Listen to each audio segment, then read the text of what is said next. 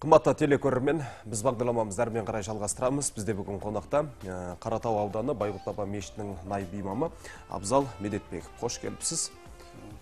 Жұма мүбәрәк болсын. Бүгінгі таң қайырлы болсын. Біздің бағдарламамызға келгеніңізге арнайы уақыт бөліп алғыс айтамыз. Енді ә, жалпы қазір байқаймыз көптеген мешіттерде және де осындай бір ә, діни ә, дүниелер айтылатын көптеген салтанатты жиындарда көбіне жастардың жас имамдардың жалпы саны басым екенін аңғарамыз. Бұл жастардың біздің исламға қосып жатқан үлесі болды ғой. Сіздердің бағдарламаларыңызға келіп және де сіздер осы тақырыпты қойып біздермен бөлісіп отқандарыңызға сіздерге де алла разы болсын. Мына қасиетті жұманы алла тағала баршамызға мүбәрәк етсін. Бұл ә, жастар әрине қазіргі уақытта ә, діни басқарма біздің дін басшыларымыз ә, діни жас мамандарды өңірлердегі мешіттерге имамдық қызметке ұстаздық қызметке тағайындап жатыр. Бұл біздердің аға буын алдыңғы ұстаздарымыздың кейінгі жастарға берген бағасы әрі оларға артқан сенімі деп білем. өйткені ә, жас болса да ә, олар бір елге бір өңірге бас болып ә, білгендерімен бөлісіп және де осы діни ахуалды реттеуге үлесін қосып жатыр Енді осы қандай үлесті сол туралы айта кетсеңіз. Қазіргі уақытта ең бірінші кезекте бұл исламның ә, негізгі тарихын баяндай отыра олар ә, негізгі исламның қайнар көзі болған құранды дұрыс оқуға жете мән беріп ә, халықтың жамағаттың діни сауатын көтеруіне үлес қосып жатыр.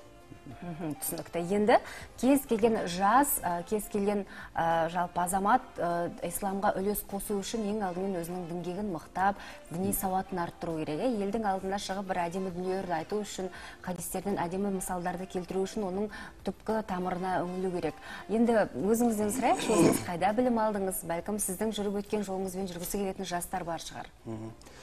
Мен өзіме келер болсам 2010-13 жылдары астанадағы нұр астана мешітінің жанында орналасқан астана медресесін ә, тәмамдадым.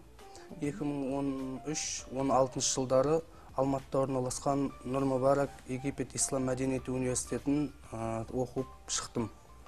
Ә, ол жақты бітіріп осы өзіміздің туған мекеніміз шымкент қаласына келіп имамдық қызмет атқарудамын.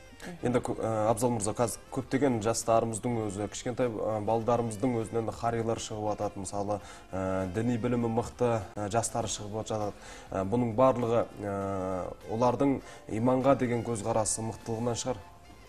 әлбетте бұл еліміздік еліміз егемендік алғалы бұл діни көзқарастар түзеліп және де дінге бет бұрушылық әлдеқайда ілгері тұр оның бір айғағы қазіргі уақытта елімізде ә, бір университет ә, тоғыз медресе бірнеше ә, қарилық орталықтар ә, қызмет атқаруда.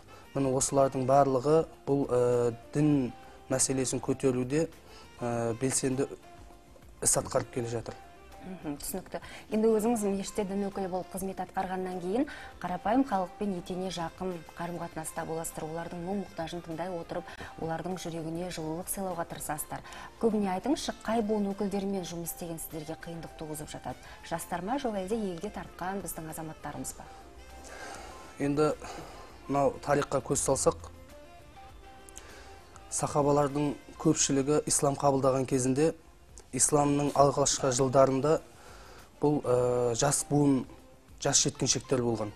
Ә, мысалы мынау ә, джафар бин абу толиб радиаллаху анху мұата соғысында шахидтік дәмін татқан кезінде небәрі 33 жаста болған. Ә, ол хабашстанға нәжашидің алдына барып бүкіл исламның бүкіл мұсылмандардың атынан сөз сөйлеген кезінде жас сонда небәрі 17 жаста болған екен. Ә, бұл сахабалардың көпшілігі мынау пайғамбарымыз саллаллаху алейхи уассаламның ә, артынан ізбасарлар ғалым сахабалар. Мысалы ибн масуд ә, зубайр бен ауам сынды ә, ұлық сахабалар жасы ислам қабылдағанда 16-да болған екен. Ал мынау ашара мубашара тірлік халінде бұл жәннатпен сүйіншіленген сахабалардың бірі мынау абдурахман бин ауф және де талхай бин убайдулла сынды ұлық сахабалар олар исламның бұл дәмін татқан кезінде небәрі жасы 17-де мұны қарасаңыздар олардың барлығы мына қазіргі уақытпен салыстырғанда мектеп жасындағы балдар.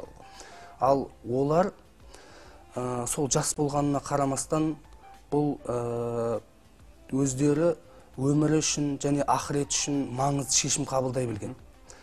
Былай қарасаңыз ол ә, негізгі адамның шешімі бұл ә, жас кезінде қабылданады. Өйткені жастар ол ә, бұл жақсылыққа бейім кез келген ә, келген хабарды тез қабылдай алатын жас. Ал енді қарасаңыз мынау ә, ислам келген кезінде исламға қарсы болған исламның дұшпаны болған мына абу ләхаб абу жахил сынды ә, қарттар бұл исламға түбегейлі қарсы болған. Ал пайғамбарымыз саллаллаху алейхи уассаламның артынан ерген ә, бүкіл сахабалардың көпшілігі жастар еді. Көрдіңіздер ме? Міне осында ә, біз ескеретін жағдай бұл жастардың жақсылыққа қашанда бейім екендігі жүректері жақсылықты әрдайым еркін қабылдай алатындығының белгісі. Түсінікті. Енді жастар барлық жағынан бейім келеді деп айтып жатсыз ғой. Әйтсе де жастар кез келген ақпаратты сүзгіден өткізуге бейім болмайды. Кез келген дүниені фильтрден өткізбей өзіне қабылдап алады. Соңында бір адасушылықтың алдыңғы шебінде яғни адасушылықтың алдыңғы факторларын көріп жатамыз. Осы тұрғыда осы дүниелердің алдын алу үшін қандай діни кітаптарды оқуға кеңес бересіз? Және де ә, сіздермен жұмыс істеуге ниет білдірген жастарға қалай жаңағы өздеріңіздің бағыт бағдарларыңызды беруге болады? Енді ә, әрине мынау жас өсіп тұрған жаңадан егілген көшет тәрізді.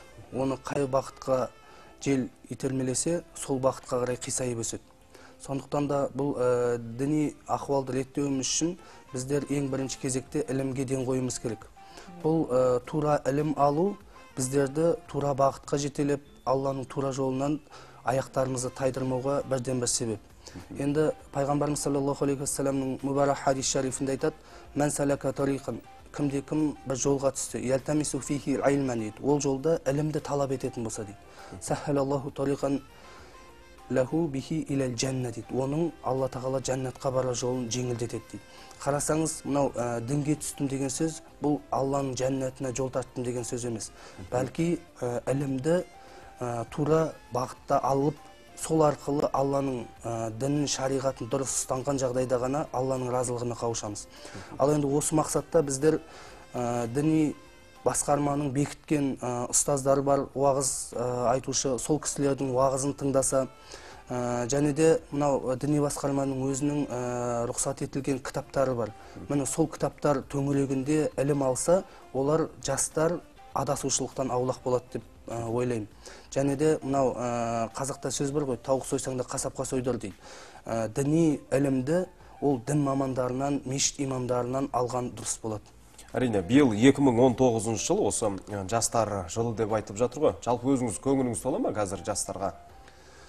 Енді ә, жастар қашанда ол тарихта да қазіргі уақытта да бұл үміт артатын ә, буын. Өйткені қарасаңыз ә, кезінде сахабалардың өз жас кезінде елеулі еңбек еткен ислам діні үшін қазақтың ә, егемендігі үшін де жастардың қосқан үлесі орасан зор. Өйткені мына қарасаңыз ә, кезінде ә, мынау хрущевтің жылымық кезеңінде бұл мәскеудің өзінде 1953-64 жылдары. Бұл ә, 10 мыңнан астам қазақ жастары оқыған.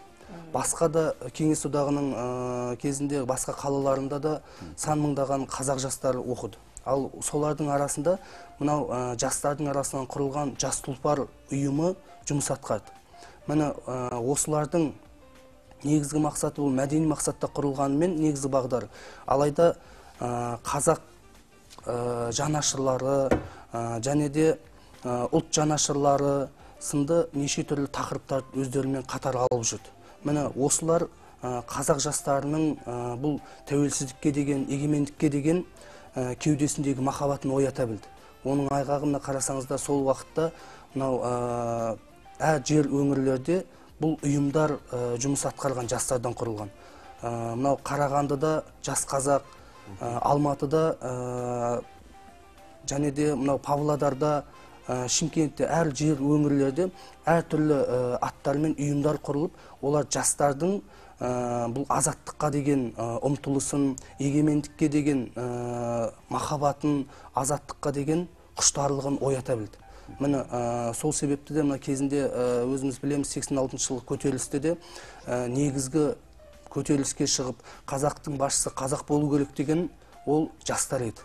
Міне сондықтан да бұл ә, жастардың үлесі ә, қай уақытта да маңызы зор болған. Және де мынау елбасымыздың да ә, қазақ биыл ә, 2019 жылды ә, жастар жылы деп ә, белгілеуінің өзі жастарға деген бұл үлкен үміті. Және де осы жастар арқылы егемендігіміздің ә, болашағы жарқын болмақ иншалла. Енді абзал мырза әрбір сөзіңізде өткен тарихты тілге тиек етіп тұшымды ой айтып жатсыз.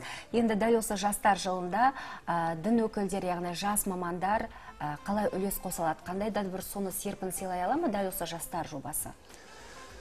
Енді ә, жастар жобасы міндетті түрде ол амалмен ә, болған жағдайда ол ә, үлес қоса алады деп ойлаймын. Өйткені мынау ә, жастардан құрылған қаншама ұйымдар қазір жұмыс атқаруда. Олардың барлығы ә, адамның жастайынан ілім алуға деген ә, және де патриоттық сезімін оятатын тақырыптарды алға тартып жүр. түсінікті. Енді қазіргі таңда енді былай қарап тұрсақ өзімізге де әр жұма сайын келіп жататын қазір ә, наиб имам бас имам бас имамның өздері де мысалы қазіргі ә, жастар. Ә, бұның өзінде мысалы жастарға деген көзқарасының оңынан шығар. Мысалы үлкен жауапкершілікті арқалап жатыр ғой деп жатқанмын жастардың өзі. Енді ә, ол көпті көргеннен емес көпті білгеннен. сұрау керек та.